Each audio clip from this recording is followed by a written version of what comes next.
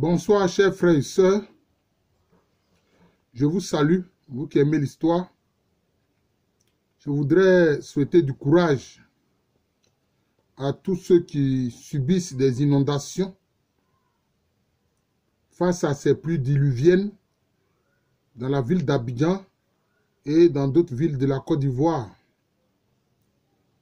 Je souhaite du courage et consolation à ceux qui ont perdu des membres de leur famille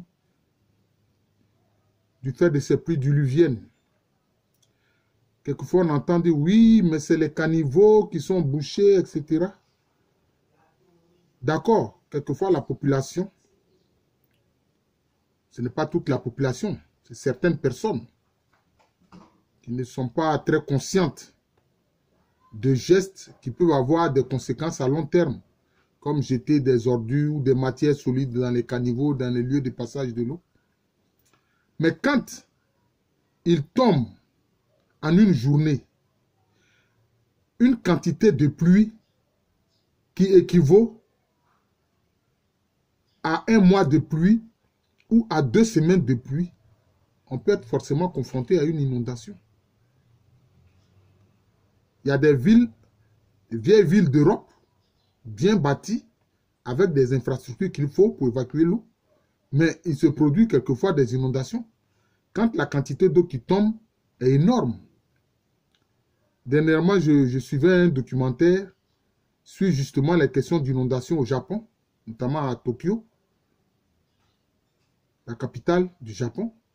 Mais il y a un spécialiste de la question qui disait que à Tokyo, ils ont dû faire de très grands travaux, c'est-à-dire qu'ils ont fait des tunnels. Ah oui, là, ce n'est pas seulement des caniveaux, ils ont fait d'énormes tunnels.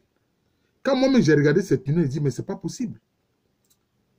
On peut mettre côte à côte dans ces tunnels-là, je peux dire, huit camions. Côte à côte, qui vont rouler côte à côte comme ça. Vous voyez Donc, c'est cela. Quelquefois, quand il tombe de trop grandes quantités d'eau, en un laps de temps court, ça provoque des inondations. Moi, je suis à Angers Star 9B, mais notre cité, en fait, en partie, et je remercie pas toute la cité, en partie, la cité a été inondée. Et moi-même, où je suis, hein, là où est mon humble demeure, bon, j'ai subi une inondation. Donc, ça arrive. Alors, je voudrais, après ceci dit, parler d'un personnage historique, un de nos ancêtres. Je vous ai dit que je vais faire une série de vidéos sur nos ancêtres africains. Évidemment, aujourd'hui, j'ai parlé de lien entre Pharaon, Phari, euh, en Égypte antique, et euh, chez les Akans. Il y a un collègue qui m'a aussi indiqué que justement, chez les Malinqués, on voit ce lien-là avec Fama, etc., hein, qui, est un dirigeant politique. On voit la racine Fa qui indique justement la, royauté telle qu'on la trouve en, Égypte pharaonique et aussi chez les Mandingues. Alors, je voudrais parler d'un quoi Okodom. Un quoi Okodom, disons que quand on examine l'histoire du royaume Sahi Yuoso, au Ghana, les Kufo disent Sehui. Sahui. Quelquefois même on écrit Sefui. S-E-F-W-I. Dans certains écrits d'historiens ghanéens. Mais eux-mêmes disent Sahi ou Asahi. D'ailleurs, il ne faut pas oublier qu'il y a des Sahi en Côte d'Ivoire. Dans le Moronou, dans le département de Bongwanou, il y a des Sahi à Andé. L'Andé des Sahi. Et puis aussi, il y a l'Aférie des Sahi à ne pas confondre avec la féerie des, des Vous voyez Donc, je veux parler d'un personnage, un de nos ancêtres africains, qu'on appelle Nkwa Okodom. Si on veut voir, c'est lui en fait qui a été celui qui a fondé le royaume Sahi Yuoso. C'est vrai, les traditions de Sahi Yuoso parlent d'un précurseur qui, a été, qui était l'oncle de Nkwa Kodom. On l'appelle Kwasi Obomankoma. Mais en fait, Kwasi Obomankoma, lui, il n'a pas eu le temps, je peux dire, d'organiser de, le royaume Sahi Yosso. Parce que lui, il résistait à la volonté de conquête des Dantira. Et donc, il était dans des collines pour résister. Il faisait une guérilla contre les armées du Dantira qui voulaient conquérir le Sahi Yosso. Vous voyez Donc, Kwasi Obomankoma n'a pas eu vraiment le temps d'organiser le royaume Sahi Yosso. Bien sûr, on le considère comme le précurseur. On le considère comme le précurseur. Mais quand moi j'observe les faits historiques, je dis que c'est son neveu Nkwa Okodom qui va réellement euh, euh, dire, poser les bases du royaume Saye Yosso. Parce que quand il succède à son oncle, utérin bien sûr, Kwasi Obomankoma, lui, il quitte les collines et il décide d'entrer en contact avec le roi des Dantira et de se soumettre à la domination d'Antira. C'est-à-dire que lui, il pratiquait ce qu'on peut dire la réelle politique. Ce que beaucoup plus tard on a appelé la réelle politique, c'était quelqu'un, il examinait beaucoup les réalités politiques. Comme aurait dit le président Oufoué, la politique c'est la juste appréciation des réalités. Nko Kodom avait compris ça depuis longtemps. Il a vu que mener la guérilla dans des collines et mener cette vie pénible pour échapper à la domination du Dankira n'était pas une bonne solution. Donc il a envoyé des émissaires entrer en contact avec le roi de Dankira qui était alors Bois Ponsem. C'est sous Bois Ponsem que le Dankira a atteint son apogée. Et c'est ainsi qu'il entre en contact avec le roi de Dankira Bois Ponsem. Et puis il se soumet au roi Bois Ponsem. Il devient vassal du roi Bois Ponsem. Donc, le Sayo Yuoso devient vassal du roi du Dankira. D'ailleurs, cet événement s'est passé, disons, autour de 1690. Et qu'a fait le roi Bois Ponsem Il a salué la, la sagesse de Nkwa Kodom et il lui a offert un grand tambour. Je crois que j'ai fait une vidéo sur le, le, le, le tambour chez les Akans. Le tambour chez les Akans. Le tambour est, tout, est toute une institution. Il faut regarder ma vidéo sur le tambour chez les Akans. Et avoir un grand tambour, c'est la marque des grands royaumes, des grandes chefferies. Ce n'est pas tous les royaumes et toutes les chefferies qui ont droit à un grand tambour qui est souvent, il y a le grand tambour principal et puis il y a un orchestre de tambour autour. C'est ce que les Akans, les Tufo appellent fantôme from, mais que les Agnis, les Baoul appellent Klinkpli. Vous voyez, c'est tout un orchestre de tambour avec le grand tambour principal. Donc, Bois Ponsem, pour le récompenser, le récompenser, lui offre un grand tambour. Donc, il est resté sagement depuis 1690 vassal du roi de Dankira. Mais quand le Dankira perd la guerre en 1701, ben, il retrouve son indépendance. Mais pas pour bien longtemps. Parce que il va maintenant être confronté à l'hégémonie de la Confédération Ashanti. Mais avant cela, lui-même, il était ensuite vassal du roi Anoasma de Lebrosa. Et là aussi, il s'est soumis. Quand il y a eu, donc je peux dire, ce déclin du Dankira, il s'est soumis au roi Anoasma, roi des Agni et Brosa, roi de Laowin. Donc, il était aussi vassal maintenant du roi Anoasma, du roi de Laouine, du roi Agni et Brossa. Mais quand la guerre éclate entre l'Agni et Brossa et la Confédération Ashanti, avec, je peux dire, son paroxysme, le paroxysme des affrontements en 1721, comme je l'ai expliqué, date à laquelle d'ailleurs les Agni et Brossa vont perdre la guerre, quand il a senti que les affrontements allaient tourner en faveur des Ashanti, il a décidé de se soumettre à l'Ashanti, notamment au roi Opokuware, qui était en ce moment-là le roi des Ashanti.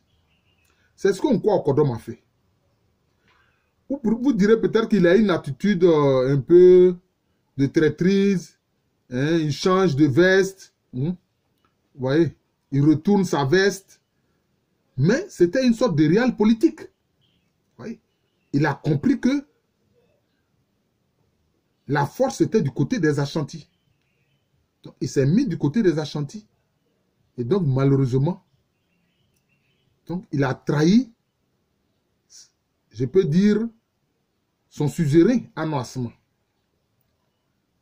Et ainsi, Opokuare est devenu son, nouveau, suzerain.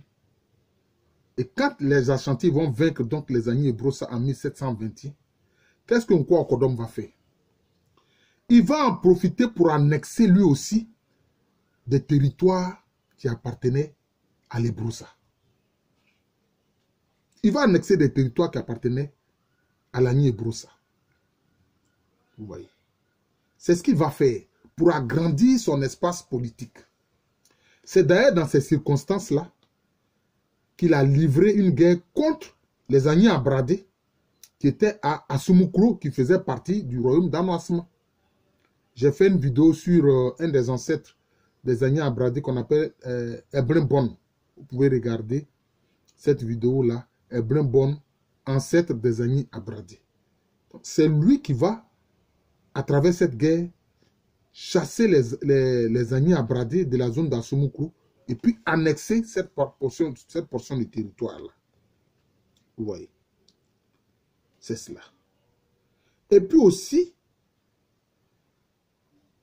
il va s'attaquer à un autre groupe d'amis qui faisait partie, qui faisait partie du royaume de, de Nana Anouasma. Une chefferie notamment, qui est la chefferie de Bonza, qui était dirigée par un matrilignage de clan Agona et qui en ce moment-là avait à sa tête Kwao Asiedou. Mais s'il a pu vaincre aisément les, les Abradés, d'ailleurs je ne peux pas dire aisément parce qu'il a eu le soutien militaire des Ashantis. Mais face à la résistance de Kwao Asiedou, chef de Bonza du clan Aguna, la guérilla que pratiquait Kwao Asiedou était tellement âpre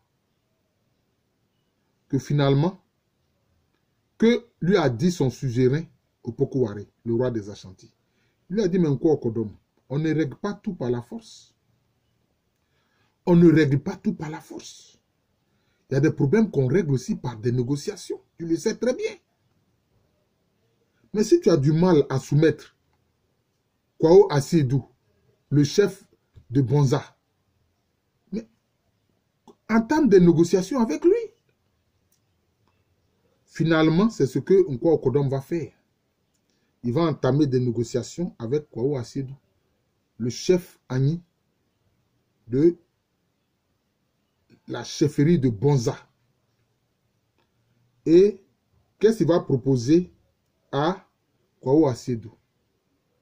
C'est d'accepter de faire partie de son royaume, mais en étant le chef le plus important après lui. C'est ainsi que la chefferie de Bonza, qui est encore aujourd'hui dans le royaume Yosso, occupera désormais la fonction de Conti. Donc, Kwao Asedou va devenir le continent de l'armée Kodom. Le continent, ça veut dire quoi? Ça veut dire le chef d'état-major. Voilà. Quand on dit Kontihene, ça veut dire chef d'état-major. Donc, c'est des institutions que nos ancêtres savaient et connaissaient. C'est comme ça. Celui qui coiffe toutes les armées, là, en tant que guerrier, mais au service du roi, là, on l'appelle le Kontihene. Voilà, c'est comme ça. Et la fonction est appelée Conti. C'est comme ça.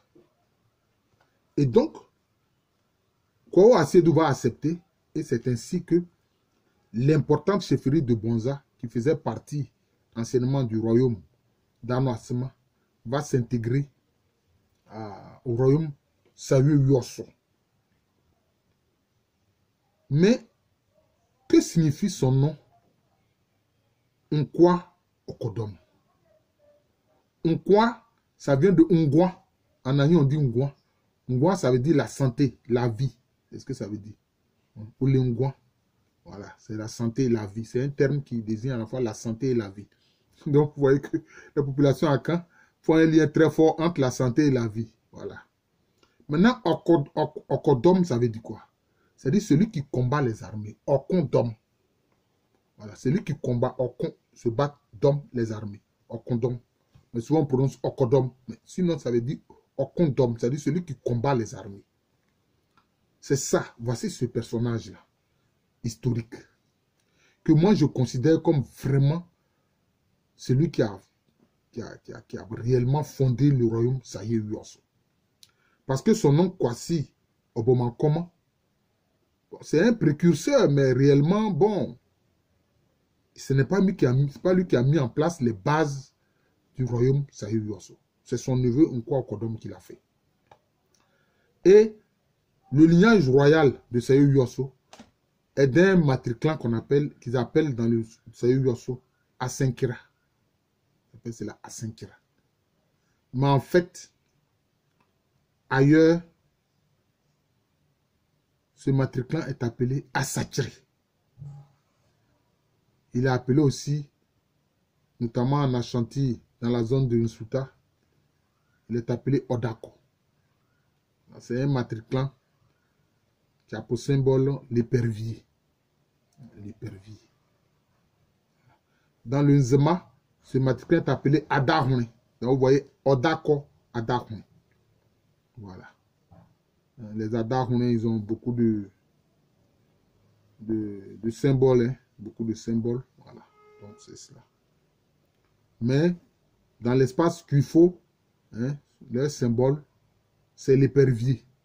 D'ailleurs, eux, les Oyoko et puis les Kona Sokore, ensemble, anciennement formaient un seul matriclan. Voilà, donc c'est ce qu'il faut comprendre. Donc voilà ce personnage. Et donc c'est autour de 1730 que la chefferie de Bonza s'intègre au royaume Sayo Yoso. Donc vous voyez que le règne, le règne d'Onko a été très long. Pratiquement un peu avant 1686, 90 pardon, un peu avant 1690, il était déjà sur le trône de Saye Yoso. Et jusqu'en 1730, il était encore au pouvoir. Il a eu un règne très long. Pratiquement 40, 45 ans, 50 ans. Voilà, encore Kodom. Voilà. Alors, donc, c'est cet ancêtre-là, qui pour lui, effectivement, la politique était la juste appréciation des réalités. Vous pouvez dire qu'il retourne sa veste, mais pour lui, c'était ça, la politique. Quand il voit là où penche la force, il se met de ce côté-là. Voilà. C'est tout. Quand il a vu que la force était du côté de Dankira, il s'est soumis. Quand Ano Asema s'est imposé à lui, il s'est soumis. Mais quand il a senti aussi que les Ashantis étaient bien plus puissants que les Agnis de Broussa, il s'est mis du côté des, des, Ashantis. Voilà ce qu'a fait l'ancêtre Nkwa Okodom. Quelqu'un qui a compris que la politique, c'est la juste appréciation des, des réalités. Je vous remercie. Je suis le professeur Alou Kwame René, professeur titulaire d'histoire à l'université Félix Fett Boigny. Université qui est à Cocody, à Abidjan. Abidjan est une ville de la Côte d'Ivoire, un pays situé en Afrique de l'Ouest. Une fois encore, je vous souhaite euh, un très bon après-midi. Et puis, je souhaite du courage à tous ceux qui subissent des inondations, hein, qui sont victimes de ces pluies diluviennes. Voilà. Merci encore et à très bientôt.